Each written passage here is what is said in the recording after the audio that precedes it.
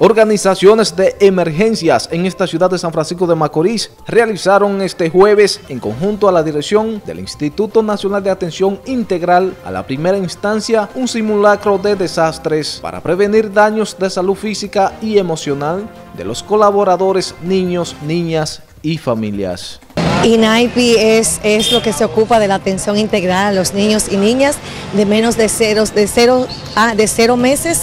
a cinco años con varias modalidades. Tenemos dos modalidades, que los, los CAIPI y los CAIFI a nivel de todo el país, los CAFI y CAIPI. CAIPI dan servicios eh, de integrar a los niños. Estamos muy contentos con la integración de la comunidad eh, para poder eh, llevar a cabo estos servicios. este simulacro corresponde a un sinnúmero de actualizaciones que está haciendo el INAIPI en conjunto con las instituciones de primera respuesta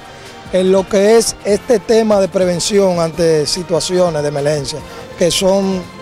demasiado importantes, tanto para la comunidad, para nosotros que tenemos, trabajamos con, con el la persona más vulnerable, que son los niños, para que desde ahí empiece lo que es la cultura de desastre, de emergencia, de prevención, de estar preparado ante cualquier situación. El simulacro tiene que ver en sentido general, globalizando todo lo que es una situación que se presente, no solamente con terremotos, sino fenómenos, porque eh, estamos aquí eh, a INAIPI, que es un centro de atención menores, donde estamos haciendo preparativos para ya de en breve hacer lo que es un simulacro con respecto a lo que es un terremoto. NTN, su noticiero regional,